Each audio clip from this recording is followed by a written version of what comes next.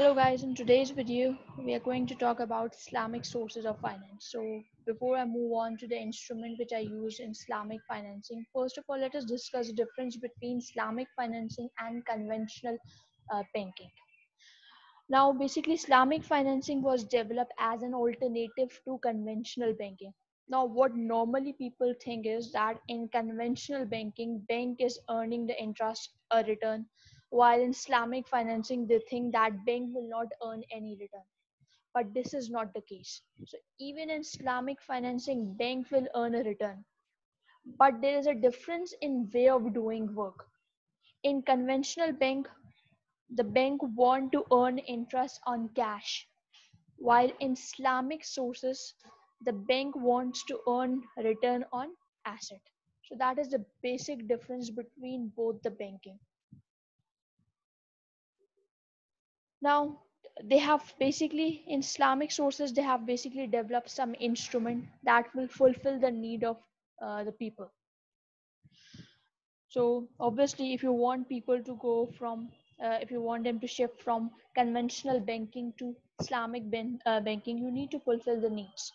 Now normally whenever we uh, go to the bank normally we go to the bank for house loan for business loan for asset loan um, maybe some overdraft etc so if Islamic bank does not provide an alternative to these, so people will continue to go towards conventional banking.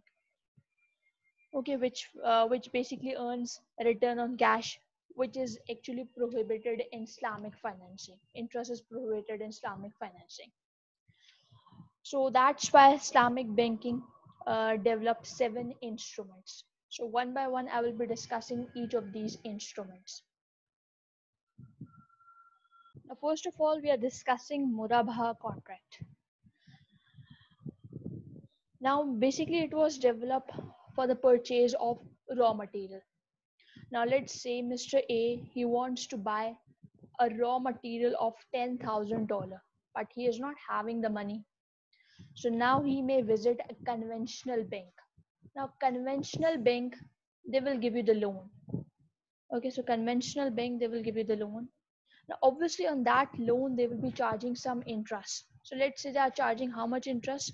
They are charging 20% interest. So this is conventional banking. So over here, interest is involved, which is wrong. Now, in Islamic uh, banking, the bank obviously need to find a solution to this. Okay, so in Islamic banking, let's say again let us take the same scenario. We need a material of $10000 so what i can do is i can go and i can visit islamic bank. And what you will do is you will avail a murabaha facility. So in murabaha facility if you tell the bank that i want to buy a raw material of $10000 so bank will not give you the cash of $10000 they will not give you a loan of $10000 they will ask you that from which supplier do you purchase the uh, raw material from? Like is, is is there any preferred supplier? Then the bank will send its team to that supplier. They will send an agent to that supplier. And they will purchase the raw material for you. Okay now obviously that raw material belongs to the bank. The bank is the owner. Okay the bank is the principal. They have the raw material okay they are the owner. So now what they can what they can do is they can sell that material to you at any price. Okay so they will offer to sell you that material at a profit. So let's say they will give you that material for $12000 although the cost is actual cost is 10000 but they will give you that material for how much? $12000 and now you have to make the payment against the purchase of this raw material to the bank now basically over here you can make the payment in installments. Like let's say maybe for example you might pay $1000 each month. Okay so over here no interest is involved. I'm simply purchasing that raw material for the bank and bank is charging a profit against that. And i will be making the payment in installments so in both conventional and islamic bank the bank will take the return. In conventional banking bank will take the return on cash. But in islamic bank the bank will take the return on asset. Like uh, it is happening over here. They're taking the return on asset. Now over here basically in uh, mura in case of murabha uh, like i told you that you have to make the payment in installment. Now let's say if there are any late payment so accord in theory the theory says that principle the bank cannot charge any penalty on late payments.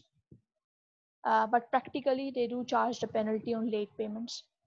And uh, similarly in theory it says that there will be no discount given on early payments either. So that was all about murabha. Now let us discuss about ijara contract.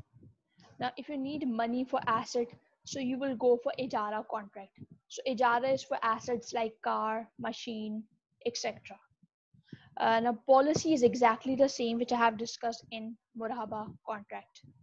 Now let's say you need to purchase a car of five lakh dollars. So what I can do is I can visit a conventional bank. Now bank will offer you an auto uh, loan. Now let's say they will be charging 10% interest.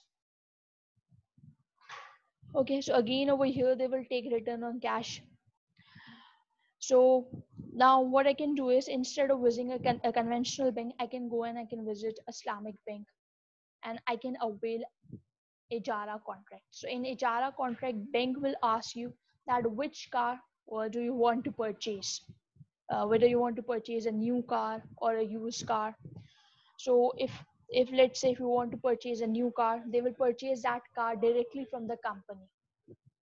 And if you want to purchase a used car so they will be purchasing that used car from the showroom on your behalf. So now bank is the owner of that car. They, they, they have the ownership of that car. They have purchased a car for you for let's say five lakh dollars. So now what uh, bank is the owner. So they can sell that car to you at a profit. Now let's say they will be selling that car to you for seven lakhs seven lakh dollar okay so now what you have to do is you have to make the payment in installment so again, Islamic Bank, they have earned a return on asset. So the difference is only in the way of doing work. Now, basically this uh, Ijara contract, this is actually like an operating lease where the bank is responsible for the major maintenance of the asset. Okay, so if the asset is damaged or destroyed, the bank will be responsible for it. But the lessee, which is you, you will be responsible for maintaining the asset in a good shape. So initially it is just like an operating lease, but its redemption uh, feature that is structured in a way that makes it similar to a finance lease. The question is, what do I mean that uh, by that redemption feature makes it look like a finance lease? Basically, as soon as you would pay the last installment, you will get ownership of the asset. So that this redemption uh, feature this makes it more like a finance lease so as soon as i will make the last installment uh, I, I will pay the last installment i will get ownership of the asset. Mudarba contract now let's say you need a business loan so you can visit a bank and you can show your business proposal to the bank. Now in mudarba contract uh, basically one party will invest the cash and the second party will invest time and skills. Okay now we have the business idea but i don't have the cash with me. So i will be investing my time and skill. Now bank is having the money so bank will invest cash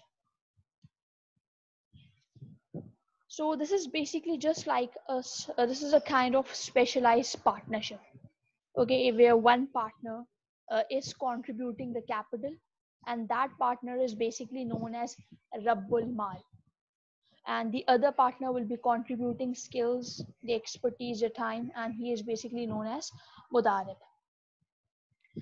Now, basically over here, there will be, um, if let's say if there is any profit over here, so that profit will be distributed according to the uh, agreed ratio, whatever the agreed ratio is in that according to that ratio uh, the profit will be distributed.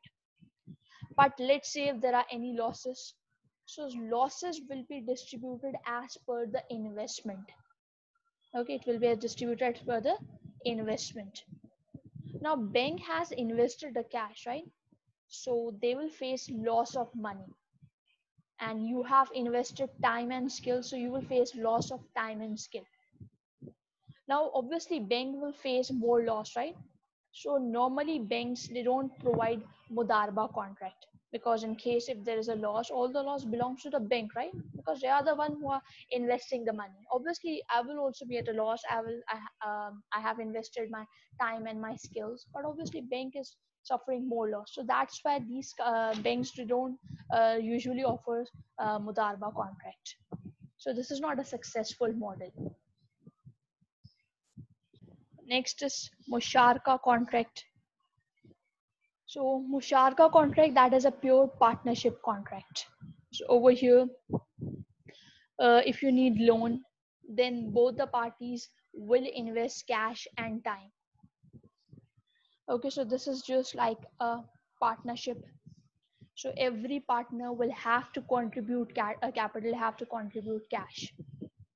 So uh, basically, every partner will be entitled to participate in management of the company but they're not required to do so okay so over here uh, let's say if there is any uh, profit so that will be shared according to the agreed ratio and if there are any losses so that will be uh, distributed as per the percentage invested so let's say if you have uh, if the investment is 50 50 so loss will be distributed half half so this is a favored instrument for bank because over here both bank and uh, the other party will invest money. So risk level for the bank will be low. So they usually favor uh, Musharaka contract.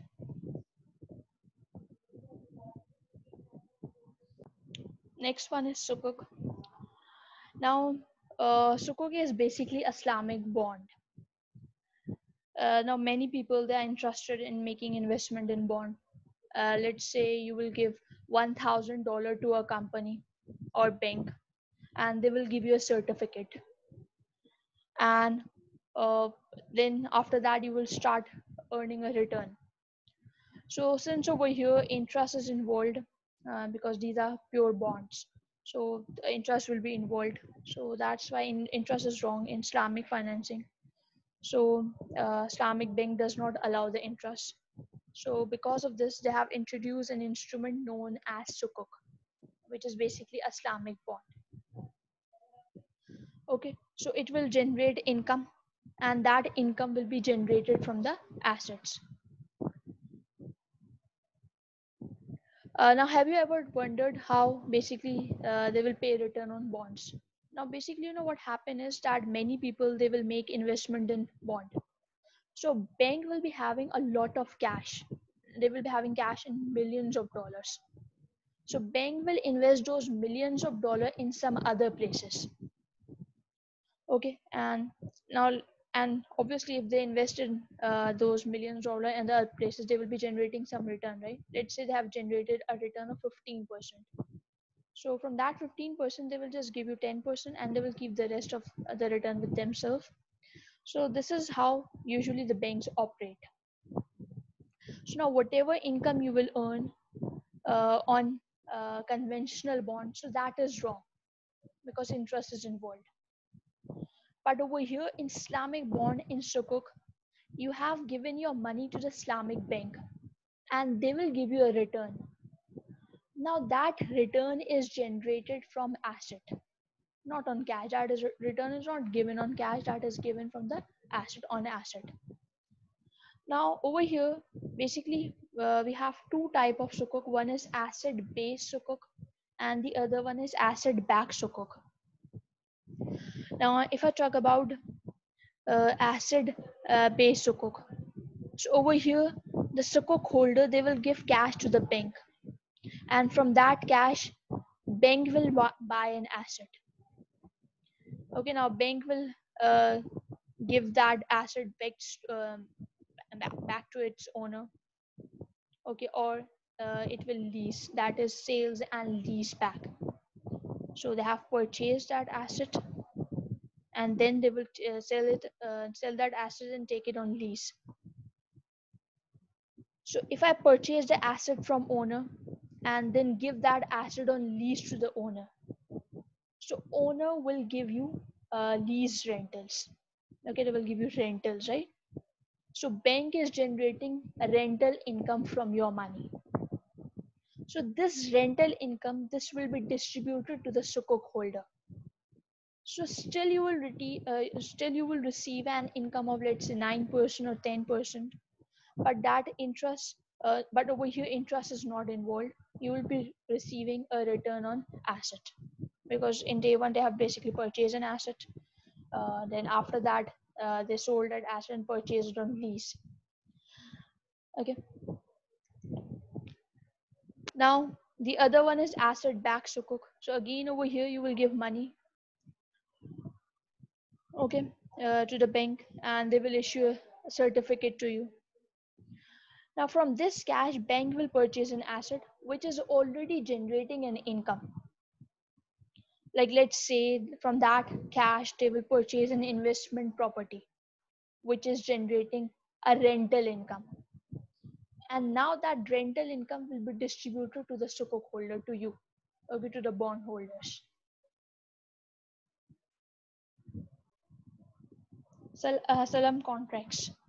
Uh, now over here you will enter into a contract with the seller. And seller they will agree to deliver goods to you in future uh, but at a committed date. Okay so you will order the goods today and he will deliver uh, those goods at a future date. Now over here you have to fulfill some condition then only it will be correct because right now at the time of advance no asset is present. So you have to fulfill some conditions. Number one you have to deliver the goods at exact date. No delay is allowed. Then number two you have to deliver the goods of exact quality which was initially agreed.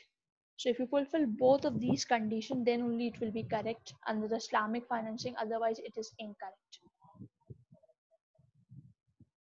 now the last one is uh, istisna contract. So uh, it means to order something.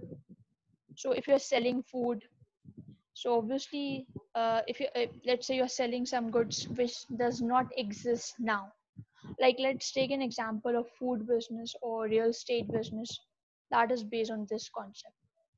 So let's say if I give money to buy a burger, so right now it is not ready. It will take around 15 to 20 minutes to get ready if you order something.